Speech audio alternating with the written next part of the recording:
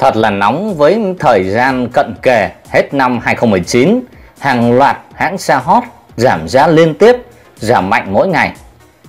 Khác với năm 2018 trước đây, khi các hãng xe đại lý còn rẻ rặt tung ưu đãi chỉ đến khoảng 100 triệu đồng trong dịp mua sắm cuối năm,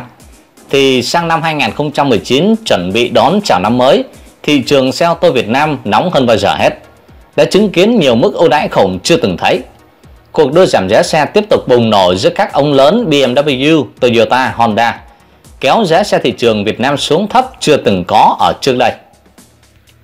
Trong phân khúc xe hạng sang BMW đang dẫn đầu với mức giảm giá lên đến 300 triệu đồng Việt Nam. BMW công bố bảng danh sách được giảm giá mạnh nhất của hãng trong đó Ngoài việc cập nhật những mẫu mới giảm giá, hãng còn đồng thời nâng mức giảm của các dòng xe hot được áp dụng khuyến mãi trong vài tháng cuối năm. Cụ thể là BMW 5 Series được nâng mức ưu đãi giảm giá lên đến 290 triệu đồng ở đợt khuyến mãi này. Những cái tên mới bao gồm có BMW 730i với mức giảm giá nhất thấp nhất chỉ là 100 triệu đồng, 118i với mức giảm giá cao lên đến 240 triệu đồng, hay là hai phiên bản 218i và 218i LCI thuộc hai dòng hai series được giảm tới 280 triệu đồng Việt Nam. Mẫu xe gầm cao duy nhất của BMW X1 được giảm đến 203 triệu đồng Việt Nam. Trong phân khúc xe phổ thông cũng ghi nhận nhiều mẫu xe vốn đã gây sốt đã được giảm giá mạnh, nay còn được nâng mức giảm giá hấp dẫn hơn nữa. Đơn cử như là dòng xe Toyota Innova. Nếu như tháng trước đó Toyota Innova 2019 được khuyến mãi từ 20 cho đến 45 triệu đồng Việt Nam theo tùy phiên bản khác nhau, thì sang tháng cuối năm này, mức giảm đã tăng kịch sàn lên đến sấp xỉ là 100 triệu đồng Việt Nam. Cụ thể, ở tại khu vực Hà Nội, phiên bản Innova 2.0i được khuyến mãi là 80 triệu đồng Việt Nam, trong đó bao gồm giảm giá tiền mặt, hỗ trợ lệ phí trước bạ khoảng 70 triệu đồng, kèm với đó là bộ phụ kiện trị giá 10 triệu đồng Việt Nam. Phiên bản Innova 2.0G được khuyến mãi 60 triệu đồng bao gồm 55 triệu đồng tiền mặt và 5 triệu đồng tiền phụ kiện. Các phiên bản còn lại như là 2.0V và Venture được giảm giá tiền mặt là khoảng 20 triệu đồng Việt Nam. Toyota Innova hiện đang được phân phối với 4 phiên bản cùng với mức giá niêm yết lần lượt đó là 771 triệu đồng với bản 2.0i, 847 triệu đồng với bản 2.0G, 878 triệu đồng với phiên bản Venture và 971 triệu đồng với phiên bản 2.0V. Cùng với Innova mẫu xe hot của nhà Toyota, dòng xe Fortuner trước đây đình đám cũng được các đại lý nâng mức giảm giá đáng kể,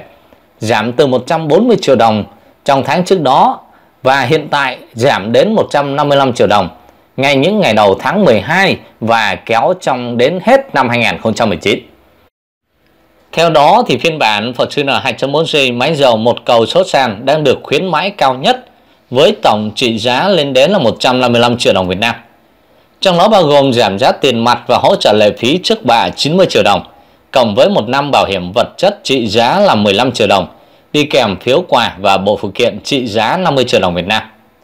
Phiên bản Fortuner 2.4G máy dầu một cầu số tự động được khuyến mãi là 86 triệu đồng, trong đó bao gồm giảm giá tiền mặt 70 triệu đồng, bảo hiểm vật chất trị giá là 16 triệu đồng, cùng với bộ phụ kiện dán kính trải sàn Tháng cuối cùng của năm 2019, một số đại lý ủy quyền của Honda Việt Nam cũng tiến hành giảm giá bán và tặng gói phụ kiện đi kèm đối với mẫu xe CRV cao nhất lên đến gần 100 triệu đồng Việt Nam. Honda CRV cụ thể với phiên bản Y sẽ được nhận tiền mặt là 55 triệu đồng và gói phụ kiện trị giá 40 triệu đồng Việt Nam.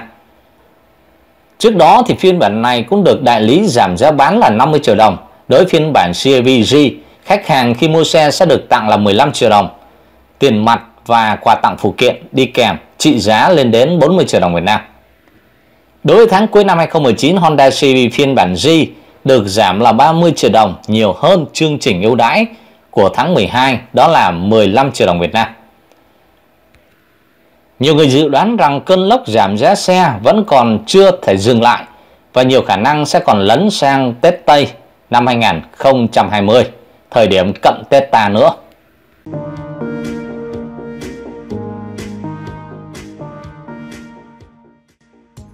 Ngày 10 tháng 4 tới đây, người mua ô tô bán tải hay thường gọi là xe pickup sẽ phải trả thêm một số tiền đáng kể do chi phí trước bạ áp lần đầu cho loại xe này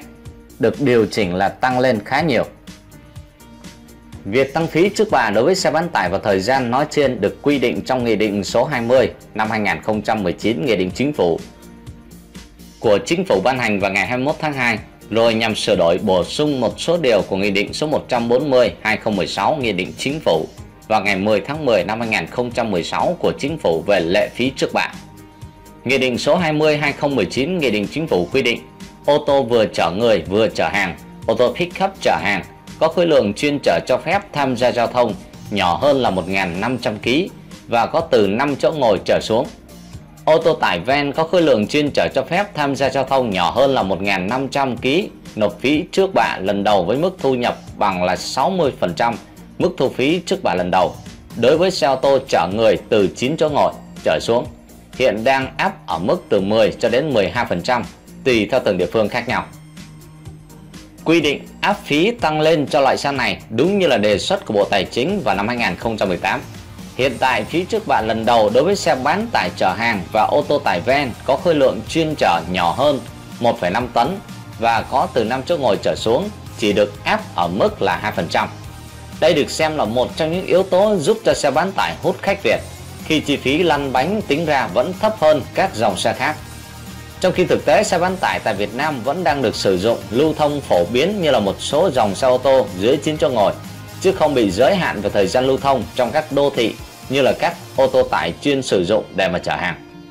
Do đó khi áp dụng theo quy định mới này, chi phí lăn bánh của xe bán tải sẽ tăng lên hàng chục triệu đồng và cụ thể theo tính toán của các nhân viên bán hàng, chi phí mà người tiêu dùng bỏ ra để mà sở hữu một chiếc bán tải có thể tăng thêm từ 6 cho đến 9% so với mức phí hiện hành. Khi đó thì lợi thế ưu đãi về phí trước bạ thấp của xe bán tải bị ảnh hưởng khá là lớn. Do đó dự báo trong vòng một tháng tới lượng xe pickup trong nước sẽ được tiêu thụ sẽ tăng cao do người tiêu dùng doanh nghiệp có ý định mua loại xe này sẽ tranh thủ mua trước khi nghị định có hiệu lực nhằm tránh phải trả một khoản phí tăng lên đáng kể. Đối với xe ô tô chở người từ 9 chỗ ngồi trở xuống, ô tô vừa chở người vừa chở hàng, ô tô pickup chở hàng có khối lượng chuyên chở cho phép tham gia giao thông nhỏ hơn là 1.500 kg và có từ 5 chỗ ngồi trở xuống thì ô tô tải van có khối lượng chuyên chở cho phép tham gia giao thông nhỏ hơn 1.500 kg nộp lệ phí trước bạ lần thứ hai trở đi với mức thu là 2% và áp dụng thống nhất trên toàn quốc. Ở tại Việt Nam thì xe bán tải luôn tạo được sự hấp dẫn với người tiêu dùng trong những năm gần đây. Và điều này thể hiện rất rõ qua các con số tiêu thụ ở từng năm như là năm 2015 thị trường dòng xe này đạt gần là 17.000 xe. Đến năm 2016 thì đạt khoảng là 23.000 xe, con số tăng lên rất đáng kể.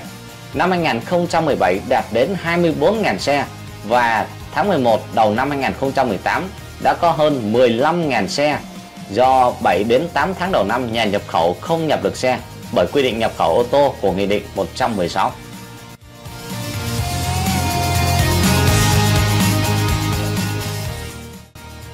Mới đây, một số sự cố của Toyota đã làm lộ toàn bộ hình ảnh của mẫu xe thể thao Toyota Supra 2020. Những hình ảnh mới nhất của mẫu xe thể thao Toyota Supra 2020 vừa bị rò rỉ trên một diễn đàn tại Đức, dù là còn khoảng 2 tuần nữa là mẫu xe này chính thức lộ diện. Một thành viên của diễn đàn Supra MKV cho hay, Toyota Đức đã gửi hai bức ảnh sau khi đăng ký vào danh sách thành viên chờ của diễn đàn này. Và những hình ảnh này trùng khớp với ảnh chiếc xe đang được dỡ khỏi container vừa xuất hiện cách đây hơn một tuần. Theo đó, mũi xe Supra có 3 hốc gió lớn cùng cặp đèn pha led mạnh lui về phía sau. Có thể thấy là các khe gió ở phía trên vòm chắn bùn bánh trước và kính chắn gió trước ngả thấp. Nóc xe thì được tạo hình cơ bắp hai mũi. Bộ vành của xe trọng lượng nhẹ khoe khóe hệ thống phanh tính năng vận hành cao. Đuôi xe thì được thiết kế theo phong cách thể thao với cánh gió sau nổi bật và cùng đèn hậu mảnh mai. Cản sau cũng được tạo hình thật sự là cá tính. Tích hợp bộ khuếch tán gió sau và đèn phanh lấy cảm hứng từ xe đua F1. Toyota chưa hé lộ ảnh nội thất của xe, nhưng những hình ảnh chụp xe trên đường chạy thử trước đó cũng đã hé lộ phần nào như vô lăng ba chấu, cùng đồng hồ kỹ thuật số, các lỗ thông gió được thiết kế nhỏ gọn, hệ thống thông tin giải trí độc lập và một số điểm nhấn mạnh trang trí bằng kim loại. Theo thời Yoda thì mẫu xe này sẽ có màn hình hiển thị trên kính chắn gió, các tính năng trợ lái và hệ thống định vị tiêu chuẩn. Ngoài ra thì Toyota cũng sẽ bổ sung hệ thống giải trí iDrive của BMW trên Supra 2020. Kỹ sư trưởng của Toyota đã xác nhận mẫu xe này sẽ được trang bị khối động cơ xăng tăng áp là 6 xi lanh, thẳng hàng dung tích là 3.0 của BMW. Khối lượng động cơ này trên BMW G4 M40i có thể sản sinh công suất tối đa là 382 mã lực và mô men xoắn cực đại là 500 Newton. Có thể Supra 2020 sẽ có hiệu suất tương đương với G4 M40i với khả năng tăng tốc từ 0 cho đến 100 km/h chỉ mất 4,4 giây mà thôi.